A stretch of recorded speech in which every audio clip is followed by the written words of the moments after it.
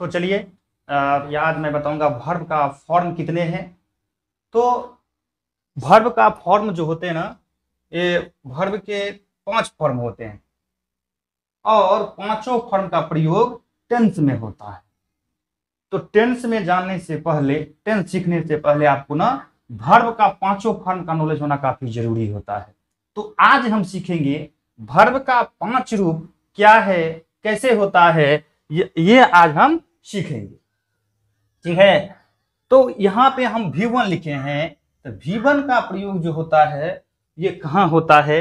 तो सबसे पहले भी वन का प्रयोग इन्फिनेटिव टू हैव और टू बी के रूप में कर। जैसा जैसे मुझे खेलना है तो आई हैव टू प्ले तो यहाँ जो प्ले है तो वर्ब का पहला रूप है। जैसे मैं खेलने वाला हूँ तो आई एम टू प्ले तो समझ गए ना? तो यहाँ पे भी वन का प्रयोग हुआ।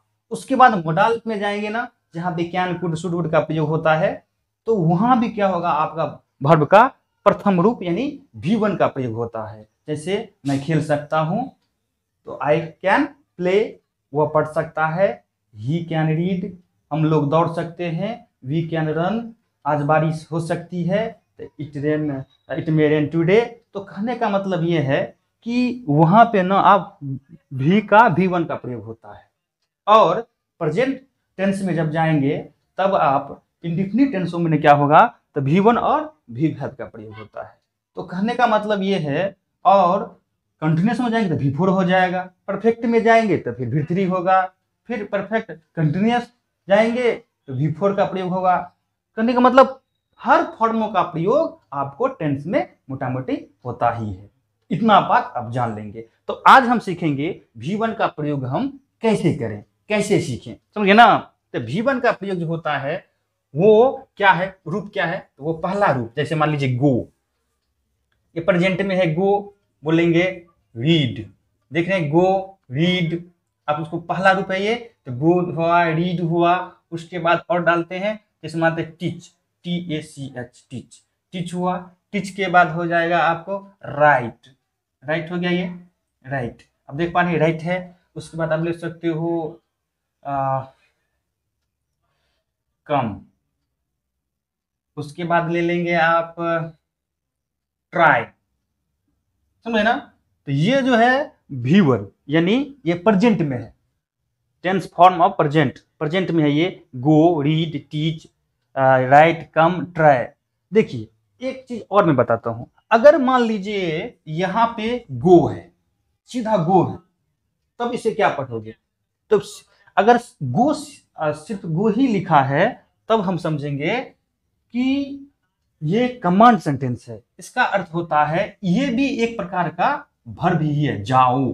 वो मतलब जाओ। लिखेंगे टी आर वाई ट्राई मतलब कोशिश कोशिश करो।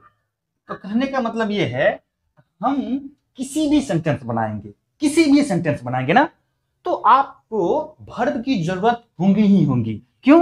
क्योंकि देखिए, अगर आप कंडीशनल सेंटेंस बनाते हैं तो वहाँ भी भर्ब की ज़रूरत होती है। अब सोचो कैसे? तो मैं आपको बताता हूँ। वहाँ पे यूज़ होती है हेल्पिंग भर्ब जैसे बी से आया इज़ एम आर वाजबेयर और मोडाल में आते हैं विल सेल का प्रयोग होता है। उसके बाद can could should would have के have did does do had ये सब क्या है ना? हेल्पिंग भर्ब है। समझ गए ना? तो वहाँ भी आपका हेल्पिंग भर्ब का यूज़ होता है कंडीशनल में। और यहाँ पे क्या होता है आपका? मेन भर्ब का प्रयोग जो होता है टेंस में वॉइस में नरेशन में मेन भर्ब का प्रयोग होता है। और खासकर टेंस में भर्ब का पाँचों रूप का प्रयोग होता है। समझ गए ना? तो गो मतलब जाओ ट्राई मतलब कोशिश करो, ये कमांड सेंटेंस अगर सिर्फ़ ये लिख दें गो तो गो का मतलब जाओ। अब ये भी कंप्लीट सेंटेंस है। समझ गए ना? ट्राई मतलब कोशिश करो रीड मतलब पढ़ो राइट मतलब लिखो। समझ गए ना? तो आप इंग्लिश सीखना चाहते हैं सबसे पहले आप भर्ब को भर्ब को पढ़ें भर्ब को रटें तो आपको खुद खुद हो जाएगा भर्ब आप इंग्लिश बोलना शुरू कर दोगे भर्ब से ही क्योंकि भर्ब ही एक कंप्लीट सेंटेंस है। कमांड में। फॉर एग्ज़ाम्पल मानता है write write on the paper write on the paper का अर्थ होता है पेपर यानी पत्र या पेपर भी लिख सकते हो। तो पेपर पर लिखो। आप बोल रहे हैं पेपर पर लिखो। एक कंप्लीट सेंटेंस है ये। तो राइट मतलब लिखो। कहाँ लिखो? ऑन द पेपर पेपर पर लिखो। विथ पेन पेन पे आप लिखो। तो कहने का मतलब इसी तरह सेंटेंस को जोड़ते हैं। आगे आपको मैं सभी चीज़ों पे चर्चा करूँगा। तो आज हम सीखेंगे भी वन के बारे में। भी वन का प्रयोग कहाँ करते हैं? एक बार और बताता हूँ। भी वन का प्रयोग जो होता है अब टू हैव का प्रयोग करते हो टू बी का प्रयोग करते हैं मोडाल्स का प्रयोग करते हैं वहाँ आप भी वन का प्रयोग करेंगे। उसके बाद टेंस में जाएँगे वहाँ भी वन का प्रयोग होगा। अगर आप वॉइस में जाते हैं तो डायरेक्ट इनडायरेक्ट बनाएँगे सॉरी एक्टिव से पैसिव बनाएँगे तो वहाँ भी थ्री का प्रयोग होगा पैसिव में। आ, आ, उसके बाद अब नरेशन में जाएँगे तो वहाँ भी आपका प्रयोग भर फॉर्म का होता है। तो पब तो वी वन का प्रयोग जो होगा go read teach write come try ये भर्ब का पहला रूप है, ये मूल रूप है। समझ गए ना? तो इसे आप पढ़ो और देखो, और सर, बहुत सारा है तो एक्सेट्रा हम लिख देते हैं यहाँ पे, कि बहुत सारा बहुत सारा है ना, उसको लिखना उतना तो ईजी है नहीं। तो फिर मैंने आपको एग्ज़ाम्पल के तौर पर इतना लेकर समझाने का प्रयास किया। हमें लगता है कि आप ज़रूर इस बात को सीखेंगे सीख लेंगे। अब हम प्रयोग करते हैं भी टू का। तो भी टू का प्रयोग जो होगा, ये कहाँ होता है? ये होता है पास पार्टिसिपल है ये, समझ गए ना? हम्म। तो इसका प्रयोग जो होगा, या अगर आप पास्ट इनडिफिनिट टेंस पढ़ते हैं, यानी सिंपल पास्ट टेंस पढ़ते हैं अफर्मेटिव सेंटेंस में भी टू का प्रयोग होता है। जैसे गो का होता है वेंट। गो का होता है वेंट। रीड रेड का वही उच्चारण थोड़ा चेंज होता है। T A U G H T taught उसके बाद हो गया। रोट उसके बाद हो गया। केम केम के बाद ट्राइट इसमें ईडी लगा देंगे। वो वाई के अंत में रहता है तो वाई हटा के वी टू वी थ्री बनाना तो ईडी लगा देंगे। और इट इज़ एक्सेट्रा समझे ना? ये हुआ V two went read taught wrote came tried is समझे ना? उसके बाद हम सीखेंगे वी थ्री तो वी थ्री जो हम सीखेंगे ना तो इनसे पहले आप क्या करेंगे, हम इस पर एक सेंटेंस बना जैसे मतलब ऐसे मतलब भीतरी इस पर सीखेंगे मैं गया था। तो ये है सिंपल पास्ट में आई वेंट अब कहाँ के तो नहीं लिखा है? तो समझ गए ना? तो वहाँ अभी वन का प्रयोग कर दोगे तो गलत हो जाएगा। आपको टेंस के फॉर्मेट का स्ट्रक्चर के बारे में बताऊँगा आगे जाके। तो सबसे पहले अभी सीखेंगे हम भर्ब के बारे में। अभी हम भर्ब के बारे में सीख रहे हैं। तो कहने का मतलब गो का वेंट रीड का रीड टीच का टॉट राइट का रोट कम का केम ट्राई का ट्राइड होगा। समझिए ना? अब फिर लेते हैं हम भी थ्री लेते हैं। समझे ना? भी थ्री भी थ्री का प्रयोग जो होता है ना, कहा होता है? ये भी थ्री भी काफ़ी महत्वपूर्ण है। क्योंकि भी थ्री पास्ट पार्टिसिपल में भी थ्री का प्रयोग होता है परफेक्ट टेंस में भी थ्री का प्रयोग होता है। उसके बाद अब पैसिव बनाएँगे ना, वहाँ पैसिव जितने भी सेंटेंस बनाएँगे, जितने भी सेंटेंस होगा, सब में पैसे में क्या होगा? भी थ्री होगा। तो वहाँ भी भी थ्री का प्रयोग करते हैं। तो समझ गए ना? तो भी थ्री का प्रयोग होगा। गो वेंट यहाँ पर आ जाएगा गौन इसका रीड रेड रेड यहाँ पे हैगा टॉट का टॉट ही होता है। यहाँ पे आ जाएगा written W R I double T E N written हो जाएगा।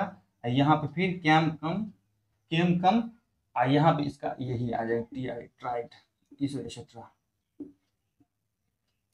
समझे ना? उसके बाद लिखेंगे भी फोर का प्रयोग। तो हम अभी सीखे गौन जैसे, वह जा चुका है ही हैज़ गौन वह खेल चुका था तो ही हैड गौन वह पढ़ चुका था तो ही हैड रीड तो कहने का मतलब है, आप जब आप परफेक्ट में होंगे और वॉइस सेंटेंस बनाएँगे तो वहाँ पे आपका भी थ्री का यूज़ होगा। वॉइस में डायरेक्ट पैसिव बनाएँगे डायरेक्ट पैसिव का बनाएँगे ना तो वहाँ पे यूज़ होगा भी थ्री का। समझ गए ना? अब हम प्रयोग करेंगे भी फोर का। तो भी फोर का प्रयोग जो होता है ये जो होता है ना प्रजेंट पार्टिसिपल है ये। समझ गए ना? भी फोर का प्रयोग जो हम करेंगे ना जब सेंटेंस कंटिन्यूस में रहता है समझे ना?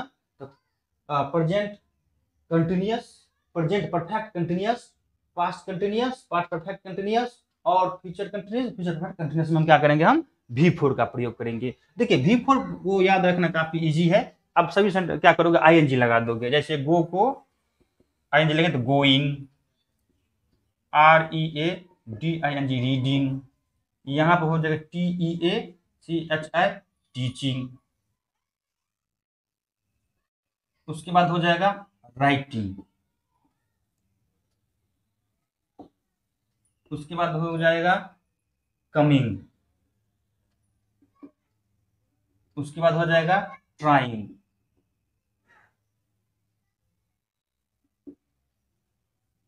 तो अब इस तरह से आप वी फोर का प्रयोग वी फोर याद रखने की ज़रूरत नहीं है। आप आई लगा दोगे तो वी फोर वैसे ही आ जाता है। आप खास करके ये तीन रूप को याद रखना है मात्र।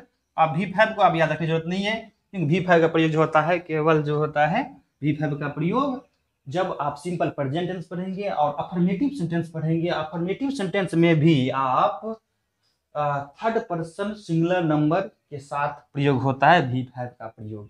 समझ गए ना? तो वी फाइव का प्रयोग करने के लिए क्या प्रयोग करेंगे? अब गो का क्या होगा? गोज हो जाएगा। रीड का आप आर ई ए इसको एस फॉर्म बोलते हैं। रीड्स उसके बाद होगा टीचेज उसके बाद होगा राइट्स उसके बाद हो जाएगा हो जाएगा कम्स उसके बाद होगा ट्राइब राइट तो कहने का मतलब ये है goes, read teach write, come, write. कुछ सेंटेंस कुछ वर्ब ऐसे भी होते हैं जो कभी नहीं बदलता। जैसे मान लीजिए कट होता है कट का कोई भी रूप देंगे V one V two V three वही होगा। आ कटिंग आ cut V four V four अभी फाइव बदलेगा। पुट होता है पुट भी चेंज नहीं होता है, उसका सेंटेंस वही होता है। समझिए ना, उसका भर भी फॉर्म वही होगा। तो कहने का मतलब है V one V two V three V four V five इनके इनके बारे में जानकारी देने का प्रयास किया मैंने। तो मुझे लगता है आप सबसे पहले सेंटेंस बनाने के लिए पहले ना मेन भर्व का प्रयोग करोगे। तो मेन भर्व का प्रयोग जो करेंगे ना तो आज V one V two V three V four बताइए आप कहाँ प्रयोग करोगे? ये भी मैंने बताया। कहाँ प्रयोग करना है आपको? जब आप इन्फिनेटिव सेंटेंस टू है टू वी का प्रयोग करते हैं, वहाँ पर का यूज़ होता है वहाँ वी वन यूज़ करेंगे। उसके बाद अगर मोडांस का यूज़ करते हैं तो वहाँ वी वन का प्रयोग होता है। और टेंस में भी वी वन का प्रयोग होता है। टेंस में वी टू का प्रयोग होता है वी थ्री का प्रयोग होता है वी फोर का प्रयोग होगा वी फाइव का प्रयोग होगा। टेंस ही एक ऐसा टॉपिक है, समझ लीजिए, जो आपको भी का पाँचों रूप का प्रयोग होगा। तो मैं अगली वीडियो मेरा जो होगा, वो टेंस पर है। तो इस वीडियो देखने के बाद आप टेंस का वीडियो देखना तो आपको कभी भी प्रॉब्लम नहीं होगा। अगर जाकर टेंस के वीडियो देखोगे ना तो काफ़ी समस्या होने वाली है। तो सबसे पहले हम मीन भर्व के बारे में जानेंगे मेन भर्व के बारे में आपको बता दिए हैं, इसका यूज़ बता दिए कहाँ प्रयोग करना है, और मेन भर्व क्या होता है, ये बताया फॉर्मो को बताया तो आपको पूरा क्लियरली क्लियरली समझ में आ जाएगा। इस वीडियो आपको समझ में आ रहा है तो इस वीडियो को लाइक शेयर करें, ज़्यादा से ज़्यादा शेयर करो इसे, ताकि सभी बच्चों को आसानी से समझ में आ जाए। ये आसान तरीका था, मैंने ये आसान तरीका आप लोगों को बताया, ठीक है? धन्यवाद। चैनल को सब्सक्राइब करो और बेल आइकन का बटन दबाओ हाँ? Thank you